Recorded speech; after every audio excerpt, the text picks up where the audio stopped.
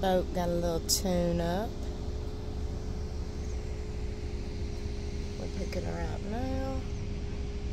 And gonna regroup on the inside, on the seats and stuff. There she is. It's blurry because I've got them in the rearview mirror. This is the first time since we got the pontoon that it's been out of the water. Because as soon as we got it, we took it straight to the water. Before we even brought it home, we took it straight to the water. And it's been at the marina ever since. So, I guess it is good to get them out of the water ever so often.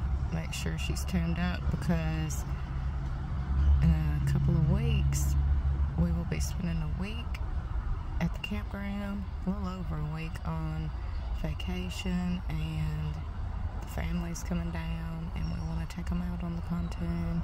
Donnie wants to pull Maddie on the inner tube, so just making sure everything's running good, running right. I'm excited. Not to mention, we're carrying the news out to run noodles and show them how we run noodles. So we're going to do that in a few weeks. So everything's got to be running tip top. It should be. Let's hope so. Fingers crossed. But first on the list is cleaning out the inside and regrouping on the seat situation. I've had an issue with the seat situation since we got it, but it's okay because we wanted it. And it was a really good price, so yeah, we got it.